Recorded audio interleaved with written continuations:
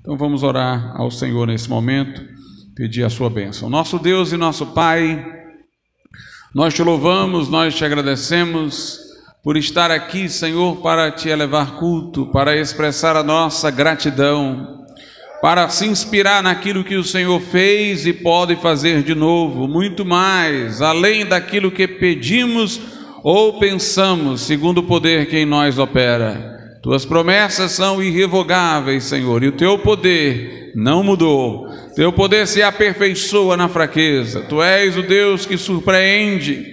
Tu és o Deus dos grandes feitos, das grandes ações, que responde à súplica e à oração do teu povo. Fala conosco hoje aqui, habita no meio dos louvores. Que tua glória, Senhor, possa irradiar-se por este tabernáculo, meu Deus. E que nós saiamos daqui renovados, que nós saiamos daqui, ó Deus, mais comprometidos contigo, com uma vida piedosa, com uma vida santa, Senhor. Nós te suplicamos tudo isso e te agradecemos no nome santo e precioso de Jesus. Amém.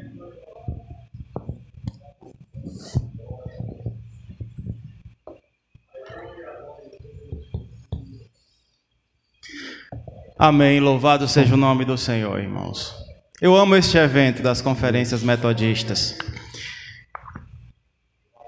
Passaram mais de 300 anos deste evento, mais precisamente o ano de 1738, que é o ano marcado como comemoração do avivamento metodista, é, que coincide com a conversão de Charles Wesley, John Wesley, ali na Inglaterra, no século 18. E, irmãos, é impressionante como o sentimento que pairava naquela época de santidade, de sede, de zelo, de desejo de fazer a coisa certa, desejo de servir ao Senhor, custe o que custasse, até as últimas consequências, de ter um cristianismo não somente demagógico ou de lábios, mas um cristianismo de coração, coração aquecido, que virou lema do metodismo por causa da experiência de John Wesley em sua conversão, como este sentimento ele é essencial, é a chave, é a peça que falta na cristandade de hoje, da atualidade do século 21. Falta isso, por isso que nós resgatamos de tempos em tempos esta história, para que nós saibamos que há um Deus que não muda e há um Deus que hoje pode fazer muito mais do que nós pensamos ou pedimos. Louvado seja Deus. E a história se passa na Inglaterra. E de lá tudo começou no século XVIII, 1738, há 283 anos, quase três séculos atrás, em que alguns homens, John Charles Wesley, irmãos, eram anglicanos, pastores, mas mesmo assim concluíram que viviam uma religiosidade superficial. Embora se esforçassem, fizessem boas obras, mas faltava-lhes a experiência real de um coração totalmente entregue ao Senhor. E essa experiência veio nesta data. Para os dois, né, a diferença de três dias, Charles Wesley teve a experiência no dia 21 de maio, John Wesley, três dias depois, no dia 24 de maio de 1738. E foi um avivamento de pregação nas ruas, foi um avivamento de, de ir atrás do pecador em um momento onde as igrejas fecharam as portas para John Wesley pregar, por exemplo. Ele disse: O mundo é a minha paróquia. E para as ruas ele foi, e o grande avivamento aconteceu, que não ficou somente na Inglaterra, mas repercutiu pelo mundo inteiro, chegando além mar, nos Estados Unidos onde eles também fizeram a obra. E nós vamos louvar ao Senhor agora. E o louvor também foi muito marcante nesta época, até porque Charles Wesley, ele era compositor e ficou conhecido como um dos maiores compositores de hinos do mundo, de língua inglesa. Charles Wesley, ele teve uma experiência profunda antes de John Wesley, em uma determinada terça-feira, ele disse: terça-feira de manhã, Despertei sob a proteção de Cristo e entreguei-me de corpo e alma a Ele. Olha só, filho de pastor, pastor, mas que teve uma experiência com o Senhor, uma experiência maravilhosa ali naquele lugar. Uma experiência transformadora. E um ano depois, ele compôs um hino em comemoração a essa conversão que ele teve. E é o hino que nós vamos cantar agora, baseado nas palavras de um missionário moraviano chamado Peter Bowler, que foi um instrumento nas mãos de Deus para a conversão dos irmãos Wesley. E este missionário moraviano, depois eu vou falar um pouquinho mais deles, disse assim: Se eu tivesse mil línguas, louvaria Jesus com todas. E vamos louvar ao Senhor. Mil línguas eu quisera ter.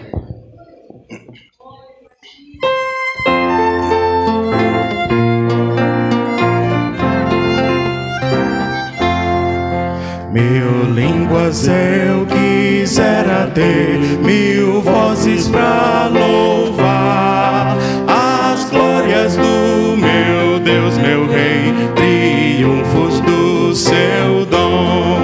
Gracioso Mestre, meu Senhor,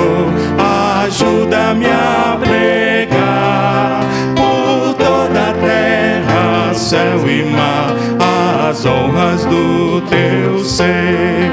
Jesus contigo, sem temor, se acaba nossa dor.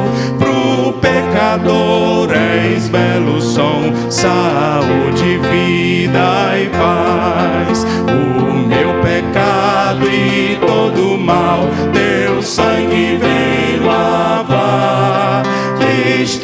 as grades das prisões com tua santa mão. Quando ele fala, sua voz, a vida a todos traz. O triste nele se compraz e o pobre humilde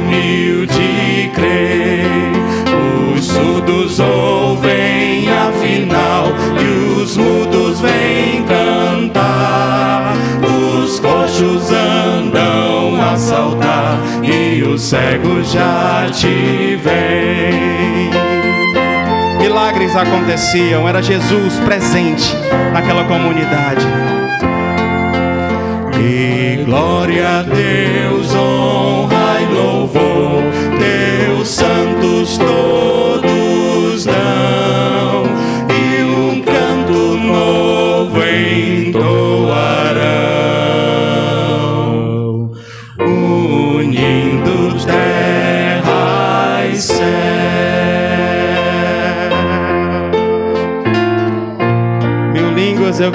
ter, Senhor, para louvar-te eternamente.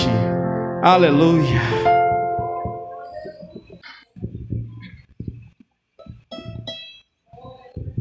Assim como John Wesley, Charles Wesley também foi um pregador itinerante incansável. Porém, sem dúvida, a sua maior contribuição situa-se no campo da inologia, como eu falei. São-lhes atribuídos hoje, para falarmos em números redondos, cerca de 9 mil hinos e poemas sacros. Charles Wesley, além de expressar sua verdadeira alegria no Senhor, sempre tinha em mente o bem espiritual das suas ovelhas. Conhecia o poder do louvor, mas queria ensiná-lo também. No próximo hino que nós vamos cantar, Alegres, Adorai, Charles Wesley faz um jubiloso convite à adoração, baseado na, na palavra de Deus, que está lá em Filipenses 4,4. Alegrai-vos sempre no Senhor. Outra vez digo, alegrai-vos.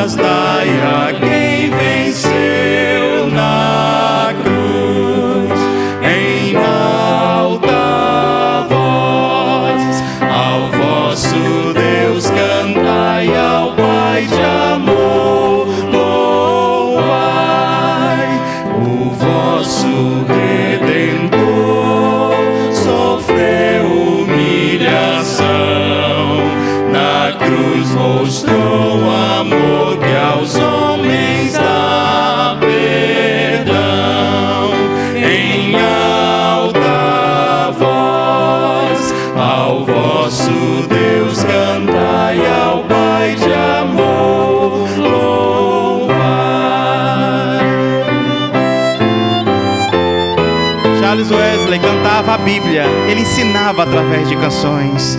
Da terra o céu além, Jesus dominará. E a glória que ele tem aos crentes.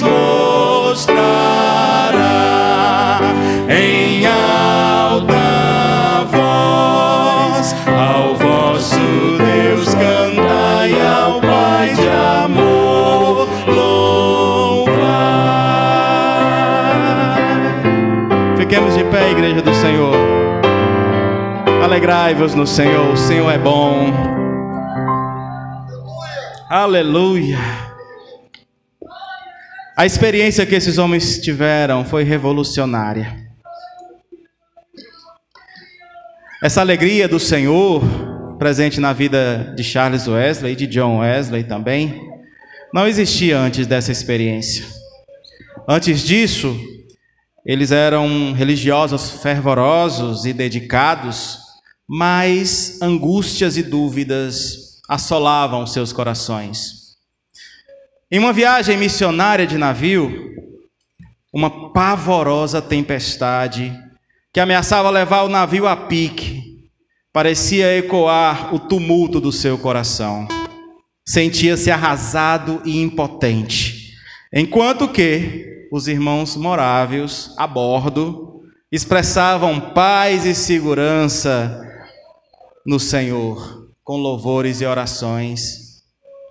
Ao chegar em terra, escreveu, Charles Wesley escreveu no seu jornal assim: Ajoelhei-me e bendisse a mão que me conduz pelos labirintos inextricáveis. O homem era um poeta, né? Wesley logo procurou os moravianos. Isso trouxe o feliz resultado da sua própria conversão. E essa terrível experiência e a nova fé pessoal em Cristo inspiraram Charles Wesley a escrever o hino Meu Divino Protetor. Você acha que as suas ondas são difíceis demais para passar? Aplique a sua vida a canção que nós vamos cantar.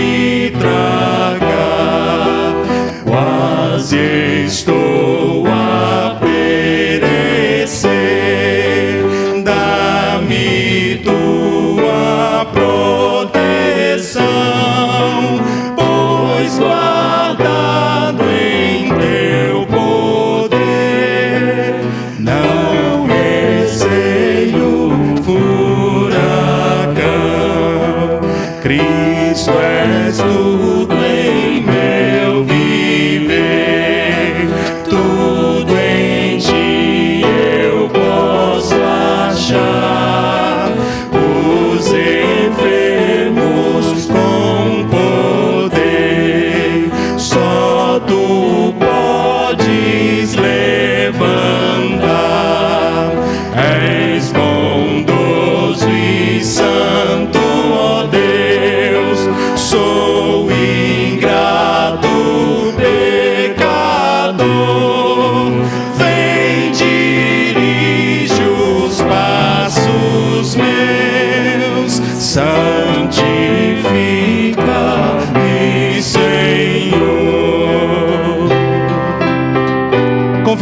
pecados.